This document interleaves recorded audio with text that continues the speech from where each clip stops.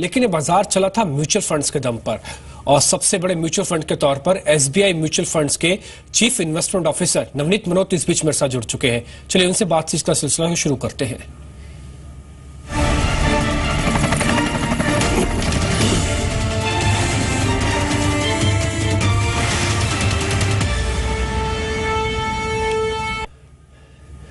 अरे शुक्रिया आपका आज सी बिज़नेस को समय देने के लिए। एक्चुअली आपसे अब उस दिन आज मुलाकात हो रही है जब म्यूचुअल फंड्स को लेकर भी इस बार बजट के अंदर बहुत सारी बातें की गई नवनीत। और इस बार के लिए मैं आपका थैंक यू भी करना चाहूँगा क्योंकि आपने हमको पहले इस बारे में अलर्ट भी किया था और बाज़ार की इस तेज़ी के बारे में भी बताया। बुलरन भी हमारे साथ जुड़े थे, तब भी आप कह रहे थे कि मार्केट सिस्टमेटिक इन्वेस्टमेंट का ही है। नवनीत क्योंकि अब टैक्स के साथ हैं हम, पहले तो मैं जरा एलटीसीजी का रिएक्शन आपसे जानना चाहता हूँ। ये एलटीसीजी और म्यूचुअल फंड्स के डिविडेंड पे जो 10 परसेंट का टैक्सेशन किया गया है, ये म्यूचुअल फंड इंडस्ट्री के लिए कितने मायने रखता है?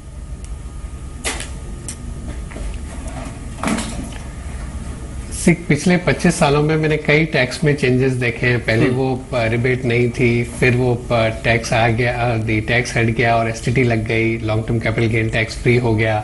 डेट में भी पहले फुल टैक्स था फिर एक टैक्स बेनिफिट आ गया फिर वो चेंज हो गया from one year to three year but mutual fund का साइज़ बढ़ रहा है इन्वेस्टर्स का और ज़्यादा पैसा आ रहा है उसका क्या मीनिंग है? उसका मीनिंग है कि ये जो छोटे चेंजेस होते हैं उससे कुछ बहुत ज़्यादा फ़र्क नहीं पड़ता। है as long as investors are happy अगर बाकी एसेट क्लासेस के कंपेरिजन कंपैरिजन में अगर बाकी जो अब एवेन्यूज है इन्वेस्टर्स के पास उनके कंपैरिजन में चाहे डेट फंड में दूसरे जो फिक्स इनकम इंस्ट्रूमेंट्स हैं या इक्विटी में जो दूसरे इंस्ट्रूमेंट्स उनके कंपैरिजन में तो investors would be happy and पैसा आएगा। इंडिया की अगर हाउस होल्ड सेविंग्स बढ़ती है और उसमें फाइनेंशियल सेविंग्स बढ़ती है और उसमें अगर ज़्यादा पैसा हमारे मार्केट्स में आता है हाँ। दस percent long term capital gain tax लगने से या डिविडेंड लगने से बहुत ज़्यादा फ़र्क नहीं पड़ेगा। ये श्योर बात है कि फिक्स इनकम और इक्विटी में काफ़ी डिफरेंस था टैक्स ट्रीटमेंट में। अब मेरे को ये लगता लगता है कि अगर आप तीन साल के लिए कोई फिक्स इनकम फंड होल्ड करते हैं और तीन साल के लिए अगर एक इक्विटी फंड होल्ड करते हैं तो रेट में ज़्यादा फ़र्क नहीं है। वहाँ पर भी आपको इंडेक्सेशन का बेनिफिट है, वो करके आपको करीब दस परसेंट टैक्स ही लगता है। तो relative attractiveness compare to equity fix income की भी बढ़ गई है। पर ज़्यादा return over a longer period equity funds में आता है तो निवेशक उसमें भी रहेंगे। पर कई निवेशक ऐसे थे पिछले एक दो साल में मैंने जिनको देखा है कि उनको actually high single digit return ही चाहिए बट वो इक्विटी में डाल रहे थे क्योंकि टैक्स नहीं लग रहा था। उनका झुकाव हो सकता है जो एम जैसे फंड्स हैं या अगर कोई शॉर्ट टर्म फंड भी है, वो शायद थोड़े से उधर मूव हो जाए। नवनीत, एक और चीज़ भी है, क्योंकि पिछले साल तो मार्केट ने बहुत अच्छे रिटर्न दिए हैं, लेकिन इस साल इस बजट के साथ हम ना इलेक्शन ईयर के अंदर भी एंटर कर गए हैं। और एक और बात भी है जो कि 6000 करोड़ रुपए की एसआईपी है। सर, इस बार ना पहली बार उन लोगों ने टैक्स देखा है म्यूचुअल म्यूचुअल फंड्स पे, जिन्होंने मार्केट में अभी अभी आए थे, या फिर ये कहूँ कि बिल्कुल फ्रेश जुड़े हैं बाज़ार के साथ, उनके लिए गिरावट भी शायद नहीं है इस बजट के बाद जो दिख रही है मार्केट में अभी। तो ये कितना फ़र्क पड़ेगा? जो नए निवेशक आए हैं, इनका मनोबल टूटेगा, क्योंकि ये पहले 20 परसेंट, तीस परसेंट का रिटर्न देख चुके हैं। अब इलेक्शन ईयर में शायद ये नहीं दिखे तो ये ग्रोथ, ये टेंडेंसी, ये फ्रीक्वेंसी, ये वैसी बनी रहेगी? मेरे ख्याल में जो निवेशकों में बहुत ही मेचोरिटी आ गई है। पिछले कुछ वर्षों का अगर आप रुझान देखेंगे जिस तरह से जब भी बाज़ार नीचे गया है पिछले दो तीन सालों में, चाहे कोई ग्लोबल रीजन से गया और डोमेस्टिक रीजन से गया हो पैनिक में उन्होंने और ज़्यादा इन्वेस्ट किया है, इसका मतलब है कि इन्वेस्टर लॉन्गर टर्म व्यू ले रहे हैं। ये बात सही है कि पिछले बारह पंद्रह महीने में कोई भी ऐसा महीना नहीं गया जहाँ कोई बड़ा करेक्शन इन्वेस्टर्स ने देखा हो। कंटिन्यूस एक अपट्रेंड रहा है बट वो एक एक्सेप्शनल पीरियड है। इक्विटी मार्केट में वॉलेटिलिटी होती है। ज़्यादा रिटर्न क्यों आता है इक्विटी में? एफडी के कंपैरिजन में फिक्स इनकम में बिकॉज़ उसमें वॉलेटिलिटी होती है। ज़्यादा रिटर्न आता है आ, लेकिन वो वॉलेटिलिटी के साथ आता है। मेरे ख्याल में इन्वेस्टर्स में मेच्योरिटी है इसीलिए वो एसआईपी कर रहे हैं। क्योंकि जब बाज़ार नीचे जाएगा तो ज़्यादा यूनिट्स मिलेगी जब बाज़ार ऊपर जाएगा थोड़ी सी कम यूनिट्स मिलेगी but over a period of time averaging होती जाएगी। आज जो नए एसआईपी के इन्वेस्टर्स आ रहे हैं, उनका जो ड्यूरेशन है, कई इन्वेस्टर्स तो आ रहे हैं जो परपिचुअल एस आई पी हम करते ही रहेंगे। आज अगर आपकी तीस पैंतीस साल की उम्र है तो आपको बीस साल एसआईपी करनी है। उनके लिए तो अगर बाज़ार कभी छह महीने नीचे रहता है तो ज़्यादा यूनिट्स मिलेगी, उनके लिए अच्छा है। और मेरे को लगता है ये मैसेज हर एक इन्वेस्टर के पास है। वो नहीं चाहते हैं कि हर महीने बाज़ार ऊपर ही बढ़ता रहे। तो छह हज़ार करोड़ की जो एसआईपी है, कभी जब बाज़ार नीचे जाएगा तो भी तो उनको फ़ायदा होगा। हाँ अच्छा नवनीत, एक और चीज़ भी है। ये बात आपकी बिल्कुल जस्टिफाइड लग रही है कि एसआईपी का मतलब ही उतार चढ़ाव से बिल्कुल हटके है। आप निवेश अपना जारी रखें। लेकिन क्या म्यूचुअल फंड्स के जो फंड मैनेजर्स हैं, उनके लिए चैलेंजिंग होगा बाज़ार से पैसा जनरेट करके डिस्ट्रीब्यूट करना? ये कुछ रिडम्शन का प्रेशर तो नहीं आ जाएगा, क्योंकि वो शायद इतना वेट भी ना करें। अगर हो सकता है उनको आठ महीने में, दस महीने पैसा ना मिले और रिडम्शन का प्रेशर आ जाए, जो पिछली बार हमने नहीं देखा। सो दो तीन तरह के फ्लोज है बाज़ार में। एक तो जो एसआईपी का फ्लो आ रहा है रिटेल एकदम अच्छा वो तो धीरे धीरे बढ़ता रहेगा, जैसे जैसे पेनिट्रेशन बढ़ेगा। एक है जो पेंशन फंड्स का पैसा आ रहा है, वो तो हर महीने आ रहा है, वो हमेशा बढ़ता रहेगा। अगर सरकार अभी पंद्रह प्रतिशत कर रही है, अगर वो और बढ़ा दे तो। और तीसरा है जो बल्क में पैसा आता है, जो वन टाइम इन्वेस्टमेंट आता है, उसमें कुछ एच का भी हो सकता है हाई नेटवर्क इंडिविजुअल का, उसमें कुछ कॉपरेट्स का पैसा हो सकता है, कुछ ट्रेजरीज का हो सकता है, कुछ जो फैमिली ऑफ़िस है। हो सकता है जिन्होंने अच्छे पैसे बना लिए, दो तीन साल में वो लोग कुछ प्रॉफिट बुक करें ये बाज़ार में। और ऑल्सो मेरे को एक चौथा मेरे को एक लगता है कि काफ़ी जो बिज़नेस कम्युनिटी थी, जिनके पिछले एक दो साल में शायद अगर बिज़नेस में स्लो डाउन रहा और मार्केट अच्छा करा तो उन्होंने शेयर बाज़ार में पैसा लगा दिया। वो लोग हो सकते हैं कुछ बाज़ार से जैसे अभी इकोनॉमी रिवाइव हो रही है, वो अपने बिज़नेस में वापस पैसा लगा रहे हैं तो बाज़ार से निकाल लें। ये बात अपनी पिछली बार भी बात हुई थी कि बाज़ार में जो चंकी मनी जो आई है, उसमें से हो सकता है थोड़ा सा पैसा वापस बाहर जाए। बट वो हेल्दी है मार्केट के लिए।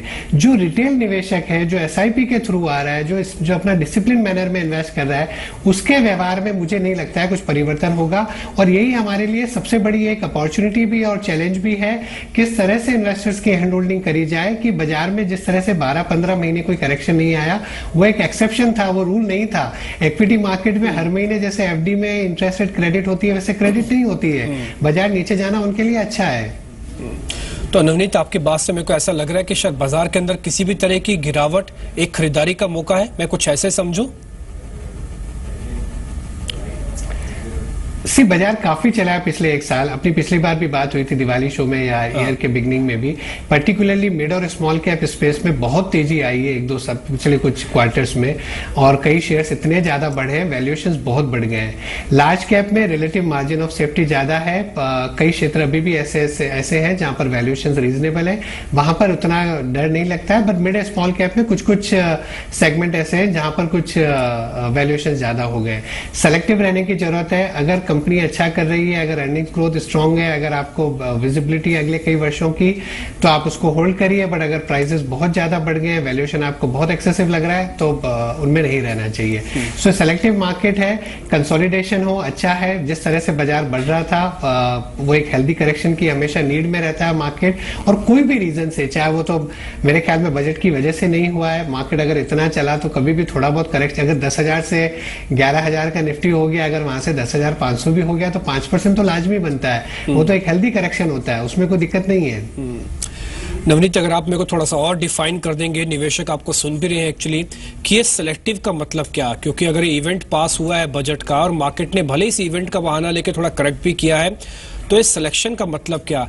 ये एग्री वाली थीम जिसपे सरकार ने बहुत फोकस किया है इंश्योरेंस वाले शेयर जिसपे सरकार ने भी बहुत फोकस किया है, और थोड़ा सा दूर रहे हाई बीटा शेयर से, जैसे कि रिलायंस ईडीएजी के शेयर्स या फिर कर्ज वाली कंपनियाँ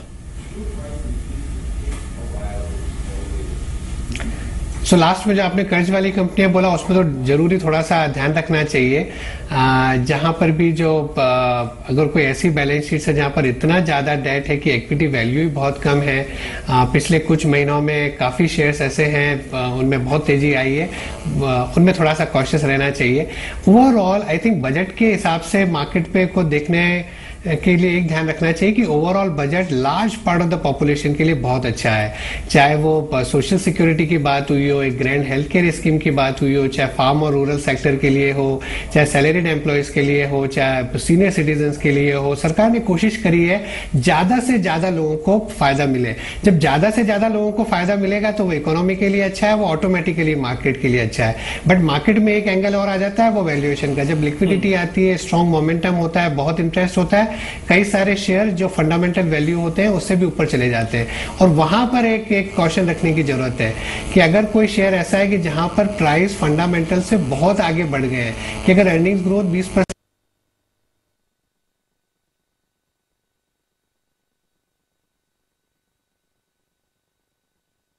आई थिंक वो इंडिविजुअल स्टॉक आप एवरी इन्वेस्टर को अपने पोर्टफोलियो पे बैठना चाहिए। बेटर तो ये है कि mutual fund professional fund managers को पैसा दे दें। But hmm. अगर खुद कर रहे हैं तो हर एक कंपनी को देखें कि क्या फंडामेंटल्स है और क्या भी वैल्यूएशन है। नवनीत एक और चीज़ आपसे समझनी है। ये एल टी सी जो दस परसेंट की हम बात बोल रहे हैं तो इसकी कैलकुलेशन क्या? ये म्यूचुअल फंड्स के जो भी होल्डर्स हैं वो कैसे कैलकुलेट करें अपना दस परसेंट? मान लीजिए मेरी होल्डिंग अभी भी है तो जब मैं रिडीम करूँगा तब दस परसेंट। या मेरे टोटल प्रॉफिट पे हर साल फाइनेंशियल ईयर पे कटता जाएगा ये दस परसेंट? मैंने काटा तो नहीं, एक ईयर से दूसरे ईयर में चला गया तो दस साल मेरे टोटल पैसे में से कट जाएगा। इसके जरा मेरे को कैलकुलेशन बताइए एलटीसी जी कैलकुलेट कैसे करेंगे आप म्यूचुअल फंड्स में? सो एक सरकार ने बहुत अच्छी चीज़ करी है कि grandfather till thirty first January thirty first January तक सपोज़ आपने एक साल पहले निवेश किया दो साल पहले किया पाँच साल पहले किया आपका जो भी गेन है इकतीस जनवरी तक वो फुल्ली प्रोटेक्टेड है। उसके बाद आपको सपोज़ अगले एक साल में एनएवी आज चालीस रुपए की कोई फंड की और वो एनएवी हो गई पचास रुपए की एक साल के बाद। तो वो जो दस रुपए का गेन है, उस पर आपको दस परसेंट टैक्स देना है। अगर बीस परसेंट का गेन है तो दो रुपए आपको टैक्स देना है। तो इंक्रीमेंटल गेन जो इकतीस जनवरी की आपकी एनएवी है, उसके ऊपर वाले पर देना है। कई निवेशक बोल रहे हैं कल से कि अभी हम तो रिडम्शन डाल देते हैं, अपना प्रॉफिट बुक कर लेते हैं टैक्स नहीं लगेगा। क्या फ़र्क पड़ने वाला? अगर आप एक साल बाद में भी बेचेंगे तो आपकी जो कल तक के जो गेन है, वो तो फुल्ली प्रोटेक्टेड है। उस पर टैक्स नहीं लगने वाला है। पिछली जो आपकी एनएवी की ग्रोथ आ चुकी है उस पर टैक्स नहीं लगने वाला है। टैक्स उस पर ही लगने वाला है जो आज से ग्रोथ होने वाली है आगे जाकर के। और वो भी जब आप पे करेंगे रिडीम करेंगे तभी आपको टैक्स देना है। तो नो बडी शुड बी ना हरी कि मेरे को आज रिडीम करके और मैं अपना गेन प्रोटेक्ट कर लू। उसकी कोई ज़रूरत नहीं है। हम्म। नवनीत एक कैलकुलेशन मेरे को आप अगर आप डिविडेंट पे भी बता पाए डिविडेंट टैक्स पे भी उस पर भी सेम ही है?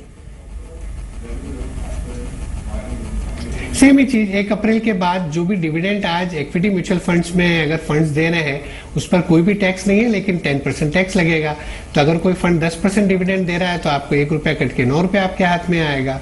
नवनीत एक और चीज़ भी है, क्योंकि म्यूचुअल फंड्स में जब हम देखते हैं ना तो थेमेटिक फंड्स हैं डिविडेंड है ग्रोथ है तो कौन सा सेगमेंट ज़्यादा अच्छा चलेगा? क्योंकि ग्रोथ पे एग्जामेशन है डिविडेंड पे दस परसेंट का टैक्स है सर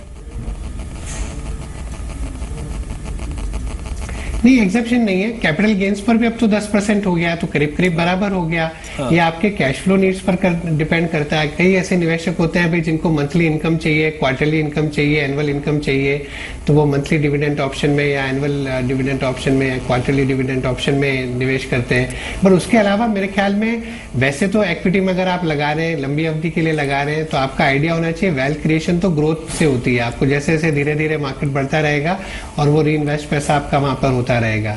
पर जिनकी कैश फ्लोज की नीड है, जिनको डिविडेंड की इनकम चाहिए, उनको डिविडेंड ऑप्शन में आना चाहिए। पर सरकार ने कोई भी तरह का अगर कोई डिफरेंस नहीं रखा आर्बिट्राज खत्म कर दिया, जो एक अच्छी चीज़ है कि अगर आप डिविडेंड ऑप्शन में आ रहे हैं तो आपको दस प्रतिशत पे करना है।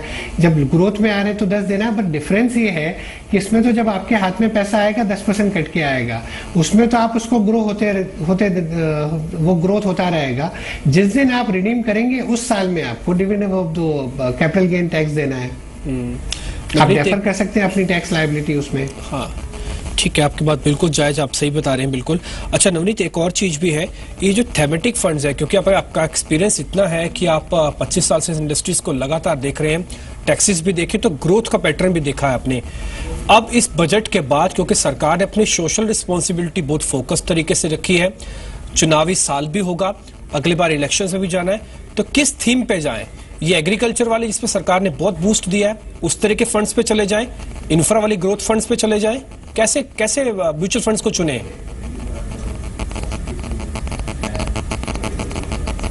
सो so, मेरे ख्याल में ऐसा नहीं कि सरकार ने कोई ड्रामेटिकली चेंज कर दिया है। हम्म। सरकार तो चार साल पहले भी सबका साथ सबका विकास बोल रही थी। मुझे नहीं लग रहा था उनका ऐसा था कि हम रूरल और फार्म पे फोकस नहीं करेंगे। वो तो डे वन से है। आज जो ई नैम वाली बात हुई है या जो आप क्रॉप इंश्योरेंस की बात है या आप कोई भी चीज़ ले लीजिए वो तो चार साल से प्रयत्न चल रहा है उसके पहले से भी प्रयत्न चल रहा है। तो रूरल फोकस तो हमेशा रहा है लेकिन कई कारणों से जो फार्म इनकम नहीं बढ़ी है रूरल इनकम नहीं बढ़ी है तो अब ज़्यादा फोकस की ज़रूरत है और उनको फ़ायदा होगा। बट जैसा मैंने बोला कि हर एक आदमी आदमी के पॉकेट में थोड़े बहुत लोग जो अगर शेयर मार्केट में उनको कैपिटल गेन टैक्स देना पड़ेगा उनको छोड़ दीजिए बट हर आदमी की पॉकेट में कोई ना कोई तो गेन आ रहा है इस बजट से तो अगर वो कंजम्पशन के लिए अच्छा है अगर सरकार का ज़्यादा फोकस है रोड कंस्ट्रक्शन पर रेलवे पर अगर सौभाग्य स्कीम से या अगर इलेक्ट्रिसिटी लास्ट माइल तक डिलीवरी करनी है पावर टीएनडी पर अगर डिफेंस के ऑर्डर जाते हैं भारतमाला की बात होती है और साल में छह महीने में एक बार जब थोड़ा कैपेसिटी यूटिलाइजेशन बढ़ेगा एनपी की प्रॉब्लम कम होगी हम्म। तो ऑब्वियसली प्राइवेट कैपेक्स भी बढ़ेगा तो इंफ्रास्ट्रक्चर में भी अपॉर्चुनिटीज़ है। इन और ग्लोबल इकोनॉमी बहुत अच्छा कर रही है तो एक्सपोर्टर्स में जैसे पिछले एक दो साल बड़ी हम्म, तकलीफ़ रही है हम्म। लेकिन अब अगर ग्लोबल इकॉनमी अच्छी करी तो इवन आईटी में भी हमें थोड़ा सुधार देखने को मिल रहा है जो आज लाइट इंडस्ट्रियल्स है या केमिकल्स है एग्रो केमिकल्स है उन सब के लिए अच्छा है। तो I think budget more or less हर एक सेक्टर के लिए अच्छा है। इंश्योरेंस में तो खैर एक गेम चेंजिंग रिफॉर्म हुआ है। तो ओवरऑल काफ़ी सेक्टर्स के लिए अच्छा है और एक मल्टी कैप फंड एक normal diversified equity fund is good for that एक एक्स्ट्रा रिस्क लेने की कोई सेक्टोरल फंड में ज़्यादा ज़रूरत नहीं है। ठीक है, नवनीत, शुक्रिया। अगर आपका समय मार्केट्स के बारे में पूछता तो सिर्फ़ चार परसेंट या पाँच परसेंट लोगों के बारे में बात होती। लेकिन आज म्यूचुअल फंड्स में आपने इतने आसान तरीकों से बताया कि ज़्यादातर देश के निवेशक इस समय आपकी बात सुन के अपनी स्ट्रेटजी ज़रूर बनाएँगे। शुक्रिया, सर। आज जी बिज़नेस को समय दिया और बहुत ही आसान शब्दों में आपने समझाया सारी चीज़ें। इसके लिए बहुत बहुत शुक्रिया। एक छोटा सा ब्रेक ले लेते हैं। ब्रेक के बाद भी मार्केट की कवरेज है, क्योंकि बाज़ार में अभी कोई खास रिकवरी तो है नहीं। इसके लेकर बातचीत होगी।